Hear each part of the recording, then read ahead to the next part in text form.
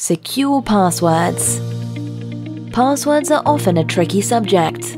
We know they should be complex to keep our data safe from hackers, but then we can never remember them. So, we pick the easy ones, which hackers just love.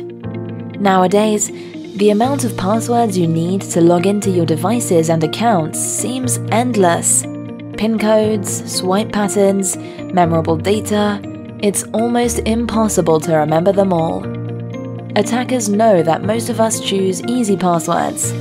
Common choices include things like password 1 or QWERTY123. Some people will even use their own name. Remember, if the word appears in the dictionary, then hackers can crack your password with ease.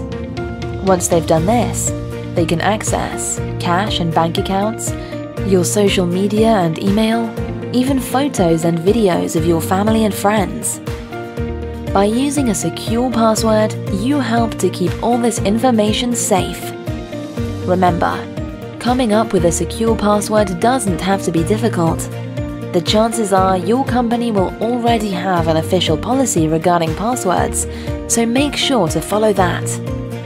If not, a good rule of thumb to follow is the 8 plus 4 rule. Step 1. Make sure your password is at least 8 characters long. You could start by choosing 2 or 3 random words that are easy to recall. Step 2. You should add at least one number into your password. This could be a memorable date or a lucky number.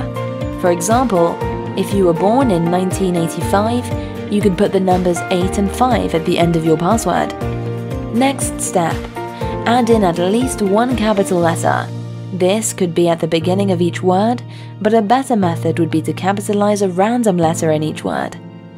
Then, by adding in a few special characters like a question mark or an asterisk, your password is both memorable and almost impossible to crack.